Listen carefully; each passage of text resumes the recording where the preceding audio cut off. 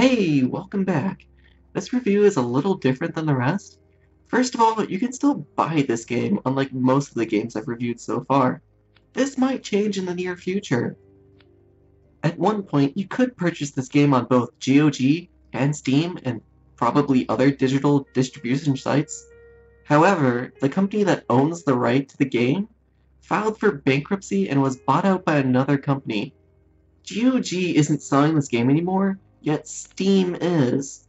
Now, because Steam has a habit of being the last to remove games from their shelves, you have limited time left to buy before you have to resort to getting a physical copy of the game from eBay.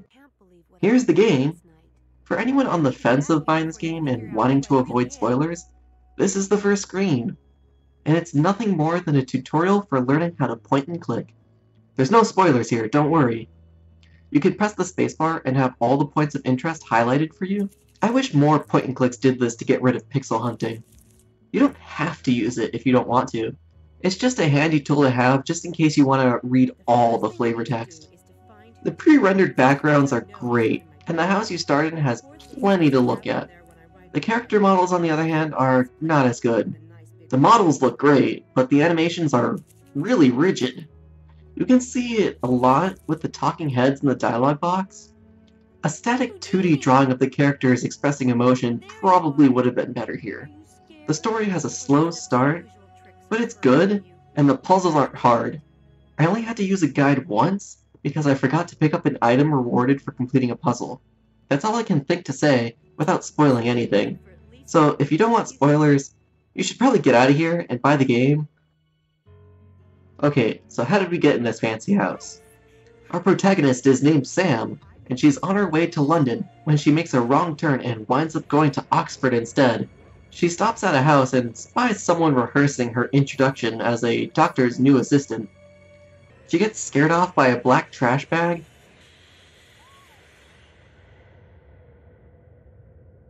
And Sam pretends to be the new assistant. Sam's first order of business after waking up in the morning is to figure out where she is and leave the place without anyone noticing. Naturally, the housekeeper, Mrs. Dalton, finds us and now we're stuck being the new assistant. Oh. Now, our first order as the new assistant is to find six willing test subjects for the doctor's experiment. Now's a good time to mention that this is a house for the cognitively impaired. That's not raising any suspicious flags or anything. Unfortunately for us, the Doctor is known all around Oxford, and everyone thinks he's a crazy person for some unknown reason. Sam gets the idea that the incoming freshmen probably haven't heard of the Doctor just yet, so she goes to the freshman dorm for willing lab rats. She succeeds in finding willing test subjects, but they need a little convincing first. Naturally, just use some magic and boom, they're on their way to the testing room.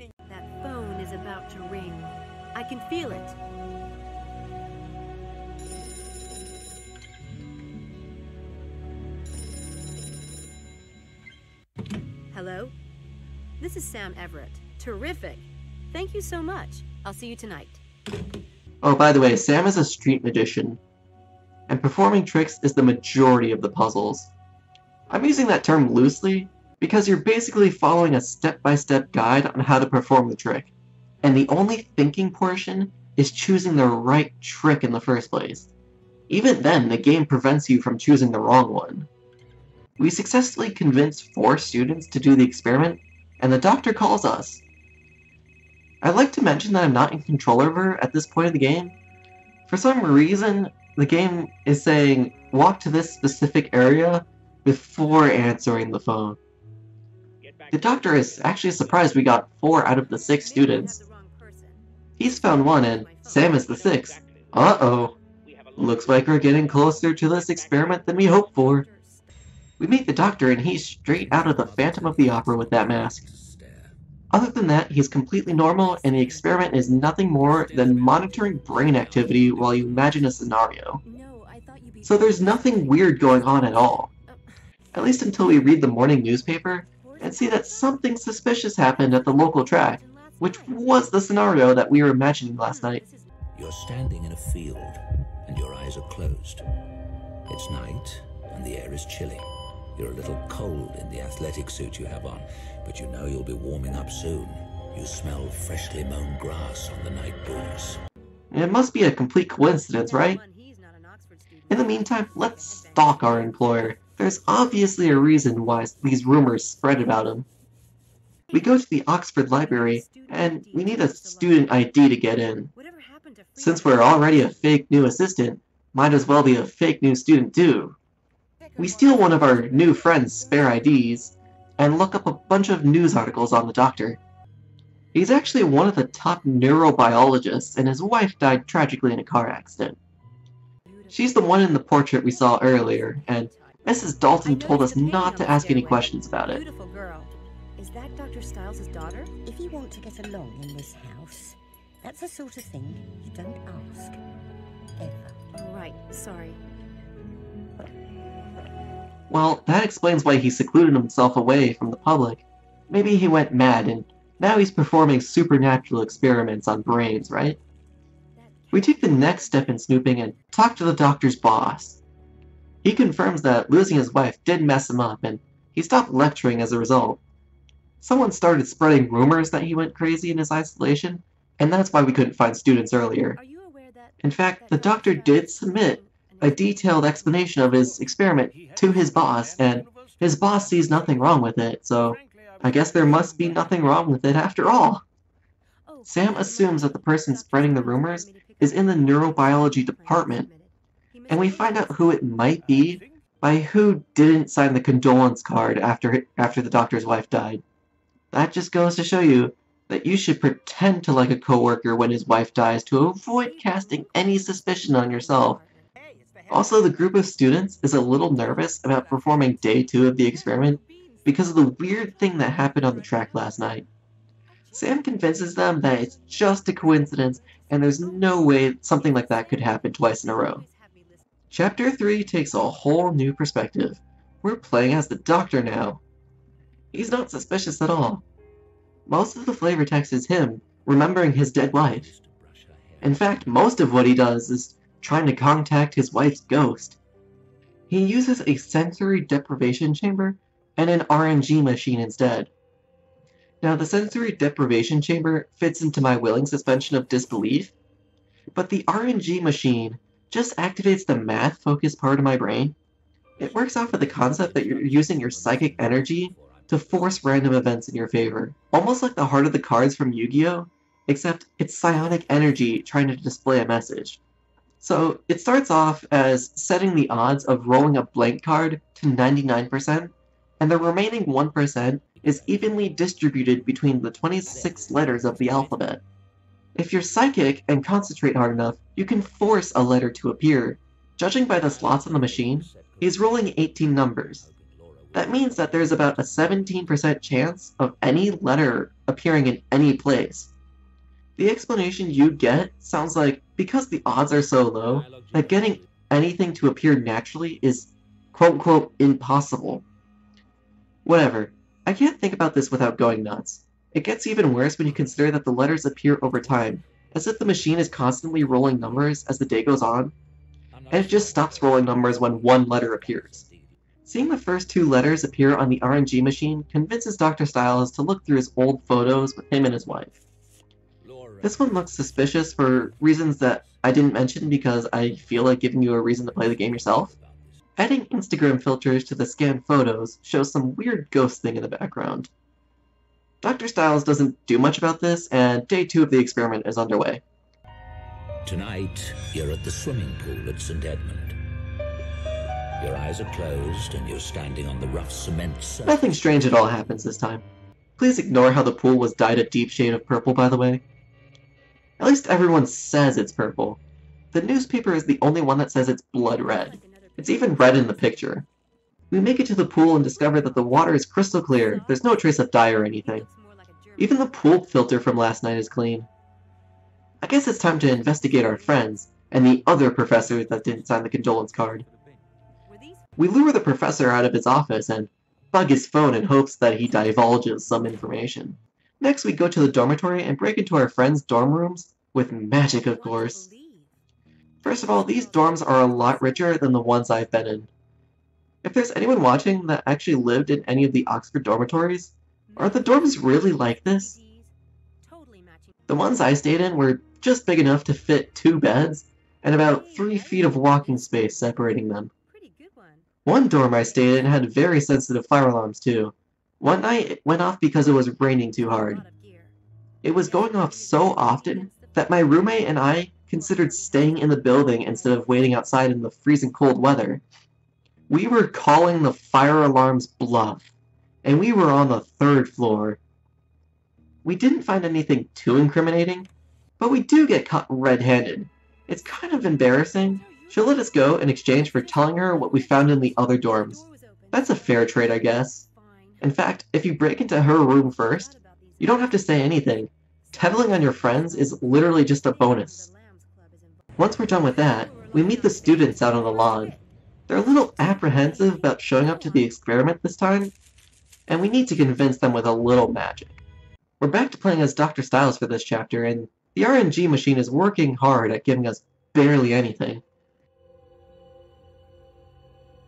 What is it, Laura? Keep going, darling. Give me a few more letters. The doctor goes outside instead of using his sensory deprivation chamber. He spends his time in the park reminding himself of his dead wife. Laura, I can't do it. I can't get that flower. Ow! He takes a boat out onto the lake, and she jumps out of the water like Jason Voorhees from Friday the 13th to tell him that something spooky happened in the accident years ago. This inspires the doctor to get to get hypnotized and force himself to remember the day of the accident. This is a kind of lame guessing game. You should know the right answers since they're written down somewhere, I can't remember. but you don't have to remember the real answers at all.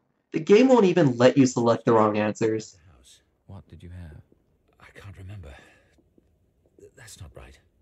The Doctor has an epiphany, and the bad 3D animation really gets shown off here. In the cutscene, the Doctor is sitting up in a state of shock. And then, when we go back to the game, he's lying down, stiff as a board, just looking straight at the ceiling. What is this student? We go back to the lab and check out the data from the test. Yeah, that's weird. What is that? Something seems to be messing with the brain scans at the exact time the pranks were pulled off. I've never seen Uh, anything like that. Yeah, that's weird. I wonder if it could have. It's time for the third experiment, and Sam is missing. She's actually hiding out in the gym, waiting for the prankster to show up.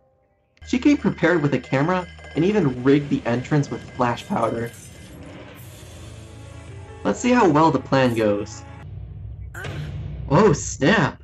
Whoever's doing this means business! Sam wakes up and cleans up the prank, so fears aren't raised any further, and she makes her way back to the doctor's house because she's gotta keep snooping for tomorrow. We manage to hear a conversation between the professor and his mistress. Sam uses it as blackmail and gets thrown out of the office. Young lady, you have five seconds to get out of this office before I call campus security.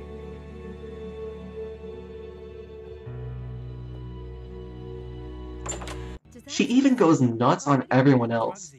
We force someone to talk by ripping up his essay that's due today, break into someone else's drug stash, get a person fired from his job, Nothing. I was just fired. and even call up someone's mother. Jeez. Don't get on Sam's bad side. The only person she doesn't mess with is the student with an obsession with the color pink and fairies. Now, everyone says that this is suspicious for some reason, but I mean, I don't know. There is no privacy when it comes to Sam. She also tells the doctor to move the experiment to an earlier time of day and change what the students are supposed to visualize. That way, we can prove that Dr. Styles has nothing to do with the pranks, oh. assuming word of the last minute change doesn't get out. That way, if the prankster is reading off the doctor's experiment plan, we should see the prank happening in a place that we aren't visualizing, if that makes any sense. And just like that, nothing goes wrong and Sam leaves Oxford for some nightclub in London.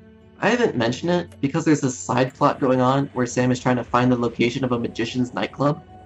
There's hints scattered around Oxford as to where it is, and I just haven't been mentioning it. Now that she's gone, we're playing as the Doctor again. Also, anyone who doesn't want the end spoiled should leave now. I've been avoiding another big plot point just so that way anyone who actually wants to play the game has something to look for. Everyone else who doesn't care just can stick around. As it turns out, something did happen during the experiment. You want to know how bad it was?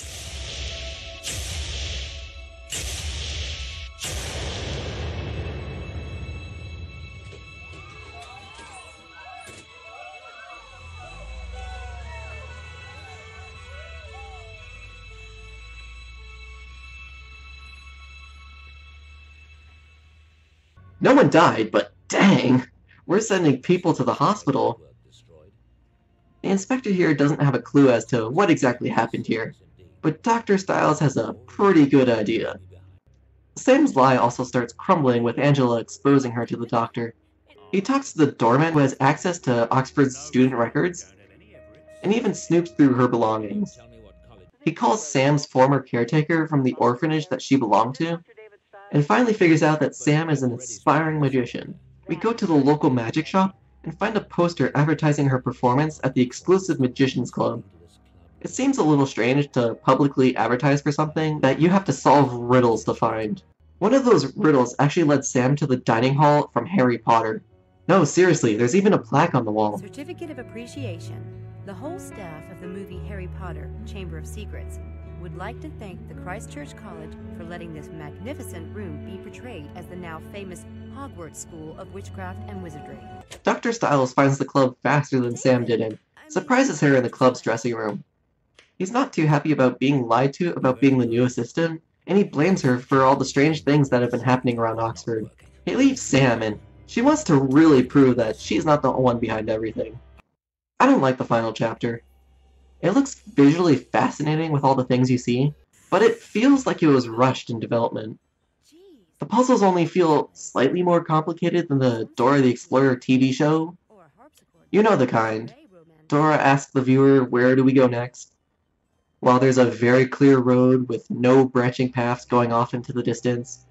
And then these two bushes move out of the way to show the castle that we're going to in the background. And then, if you still can't figure it out, an arrow shows up on the screen and clicks on the castle. The puzzles are easy and tedious is what I'm trying to get at. It all leads up to the private section of the club, and we pull out a gun on the magician from Oxford. We get the answers that we're looking for, and this is the last warning for anyone who doesn't want anything spoiled. David, it's Angela. Okay, so the plot point that I didn't mention is that Dr. Styles thinks that his wife's ghost is walking around the house and showing up in his bed, his shower, his Hey, staircase. I mean, hello? Hello? Who's there, please? Or not?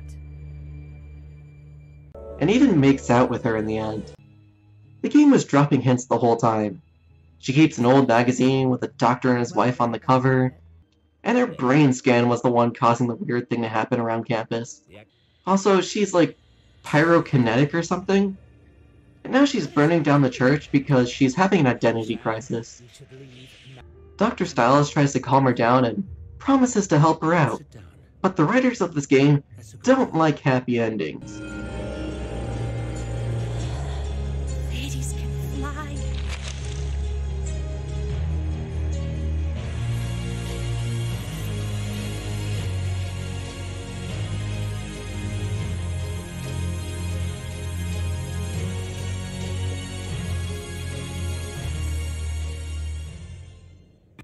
The students involved with the experiment are the only ones that are told exactly what happened in the church. And the story ends with Sam staying in Oxford as the doctor's assistant. The story isn't exactly wrapped up in the prettiest bow, but it's still a good story nonetheless. I enjoyed the journey, and the only thing I wanted was harder puzzles. I'm not saying I want the famous cat hair mustache, but the puzzles in this game were mostly just following directions. You weren't really solving anything. The game wouldn't even let you do the wrong thing. So I still recommend the game and you should try it. Oh, come on. What do you want, blood? I told you I'd delete your scene. And I'm supposed to trust you. Please, I'm whining now. I'm whimpering. You're killing me here. Maybe you'll think twice next time. I've nothing more to say to you. Just in case anyone wanted to know, the RNG machine put up the last few letters way too late.